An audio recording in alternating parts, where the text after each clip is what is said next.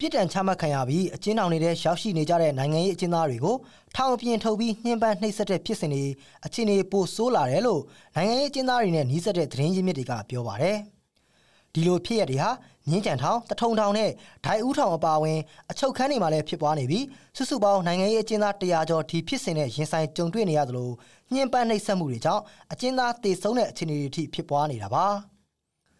ပြီးခဲ့တဲ့မေလ22ရက်နေ့ကစပြီးမန္တလေးတိုင်းမြင်းချံထောင်အတွင်းကနိုင်ငံရေးအကျဉ်းသား10ယောက်ကျော်ကိုစစ်တပ်ကထောင်အပြင်ခေါ်ထုတ်ပြီးပြင်းပြင်းထန်ထန်ညှဉ်းပန်းနှိပ်စက်တာတွေပြုလုပ်ခဲ့ပါတယ်။မြင်းချံမှာရှိတဲ့ခမရ15ပေါ့ခမရ15စစ်တပ်ထဲကိုပြန်ခေါ်သွားပြီးကြတော့ရိုက်နှက်စစ်ဆေးတာမျိုးဟိုလုပ်တယ်လို့သိရတယ်ပေါ့လေ။အဲ့လူတွေကလည်း21ရက်နေ့ကစပြီးခေါ်သွားတာမှာ29ရက်နေ့ကမှဒီထောင်ထဲကိုပြန်ပို့တယ်ပေါ့လေ။ထောင်ထဲပြန်ပို့တဲ့အခါမှာလည်းဒီ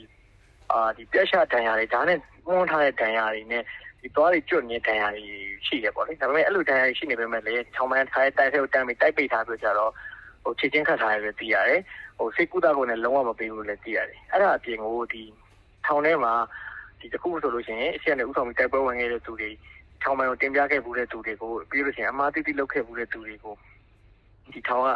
ပြန်ခေါ်ပြကြတော့ခေါ်ထုတ်ပြကြတော့ ဒီထောင်ပန်ရုံးခန်းထဲမှာပဲရိုက်နှက်စစ်ဆေးရရိုက်နှက်တာမျိုးတွေလုပ်တယ်စစ်ဆေးတာအဲ့ဟာကျတော့စစ်ဆေးရမျိုးမဟုတ်ဘူးတက်တက်ကိုဟိုပေါ့တက်တက်ကြီးကိုတက်တက်မဲ့ရိုက်နှက်တာပေါ့အကြောင်းမဲ့ချက်မရှိရင်ရိုက်နှက်တာ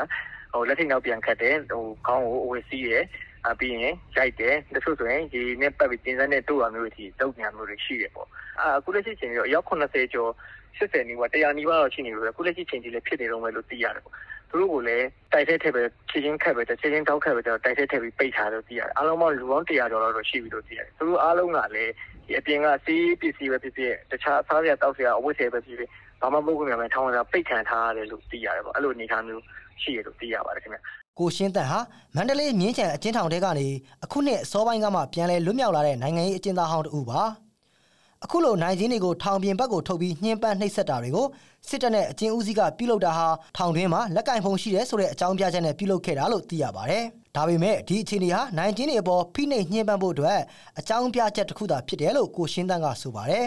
။ထောင်တွင်းကနေအပြင်ကိုခေါ်ထုတ်ပြီးနှိပ်စက်ခံခဲ့ရတဲ့နိုင်ချင်းတွေဟာတေလူမျောပါရိုက်နှက်ခံခဲ့ရပြီးလက်ရှိအချိန်ထိလည်းဆေးကူတာခွင့်မရရှိသေးဘူးလို့ဆိုပါတယ်။ ပြီးခဲ့တဲ့မေလ25ရက်နေ့ကတောင်ငူထောင်ထောင်ဖောက်ပြေးတဲ့ဖြစ်စဉ်နဲ့ပတ်သက်ပြီးဒိုင်ဦးထောင်ကအမိန့်ချပြီးသားနိုင်ငံရေးအကျဉ်းသား20ကျော်ကိုထောင်ထဲကနေခေါ်ထုတ်ခဲ့ပြီးပြင်ပုံကြီးစစ်တပ်ထဲမှာရိုက်နှက်စစ်ဆေးခဲ့ပါတယ်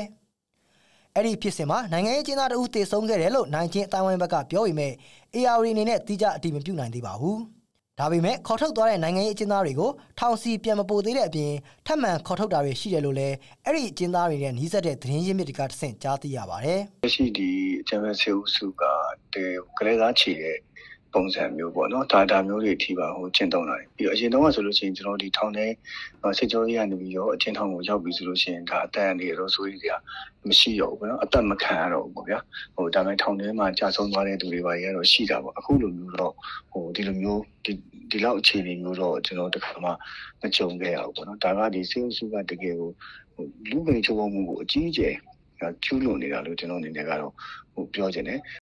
စစ်တပ်အာဏာသိမ်းပြီးတဲ့နောက်နိုင်ငံတွင်းကအကျဉ်းထောင်တွေဟာနိုင်ငံရေးအကျဉ်းသားတွေအပေါ်လိင်ပိုင်းဆိုင်ရာထိပါကျူးလွန်မှုတွေအပါအဝင်လူအခွင့်အရေးချိုးဖောက်မှုတွေပုံမိုဆိုးဝါးလာသလိုရက်ဆက်ကြမ်းကြုတ်တဲ့ညှဉ်းပန်းနှိပ်စက်မှုတွေကြောင့်နာမည်ဆိုးနဲ့ပိုပြီးကြော်ကြားလာပါတယ်။ ဗမာနိုင်ငံလုံးဆိုင်ရာចောင်းသားသမဂ္ဂများအဖွဲ့ချုပ်ဘာကတအဖွဲ့ဝင်လည်းဖြစ်မန္တလေးမြေပြင်ပျောက်ကြားတပိတ်ခေါင်းဆောင်တူလည်းဖြစ်တဲ့ကိုမြတ်သူဟာသူဖမ်းခံရပြီးစစ်ကြောရေးငရဲကံမှာလိန်ပိုင်းဆိုင်ရာညှဉ်းပန်းနှိပ်စက်မှုတွေခံခဲ့ရတယ်လို့ AR နဲ့တည်တံ့မေးမြန်းရမှာပြောဆိုခဲ့ပါတယ်။ဒါအပြင်သူအချင်းကြနေစဉ်ကလည်းအချင်းသားတချို့ကိုအပြင်စစ်ကြောရေးစခန်းကိုခေါ်ထုတ်သွားပြီးညှဉ်းပန်းနှိပ်စက်မှုတွေပြုလုပ်ခဲ့တာတွေလည်းကြားမြင်ခဲ့ရတယ်လို့ဆိုပါတယ်။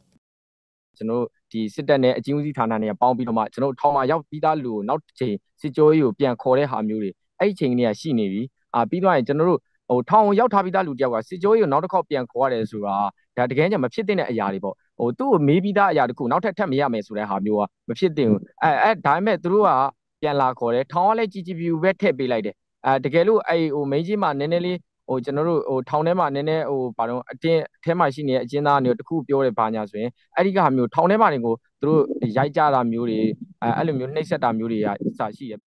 အခုလိုညှဉ်းပန်းနှိပ်စက်တပ်ဖြတ်မှုတွေနဲ့ပတ်သက်ပြီးအာဏာသိမ်းစစ်တပ်ကိုနိုင်ငံတကာကဝေဖန်ပြောဆိုမှုတွေရှိနေပေမဲ့လည်းဖိနှိပ်ညှဉ်းပန်းမှုတွေကတော့ပုံမိုဆိုးလာနေတယ်လို့နိုင်ငံရေးမှုတွေလိုက်ပေးနေတဲ့ရှေ့နေတွေကပြောပါတယ်။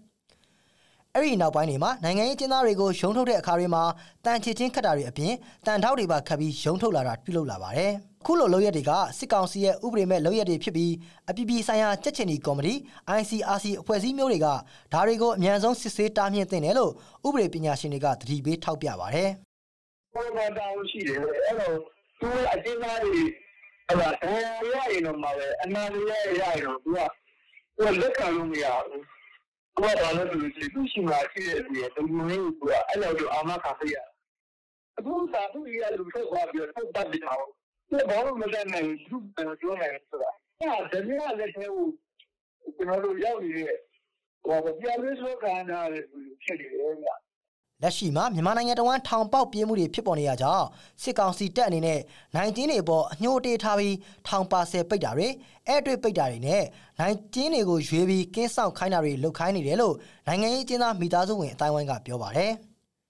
ပြီးခဲ့တဲ့ဇွန်လ17ရက်နေ့ကလည်းမကွေးတိုင်းဂံခေါ်ရဲစခန်းမှာဖမ်းဆီးထားတဲ့နိုင်ငံရေးကျင်းသား2ဦးကိုစစ်ကောင်စီအဖွဲ့ဝင်တွေကမြို့ပြင်ကိုခေါ်ထုတ်ပြီးတပ်ဖြတ်လိုက်တယ်လို့ရောဒေတာပြည်သူ့ကာကွယ်ရေးတပ် YPDF က AR ကိုတီးပြုတ်ပြောပါတယ်။ နိုင်ငံရေးကျင်းသားများကူညီဆောင်ရှောက်ရေးအဖွဲ့ရဲ့လက်လန်းမီတလောက်စူးစီးထားတဲ့အချက်လက်တွေအရစစ်အာဏာသိမ်းပြီးချိန်ကနေဇွန်23ရက်နေ့ထိဖမ်းဆီးခံခဲ့ရသူ23,442ဦးထိရှိခဲ့ပြီးအဲ့ဒီထဲကမှ19,000ကျော်ဟာအကျဉ်းထောင်တွေထဲမှာအကျဉ်းချခံအမှုရင်ဆိုင်နေရပါတယ်။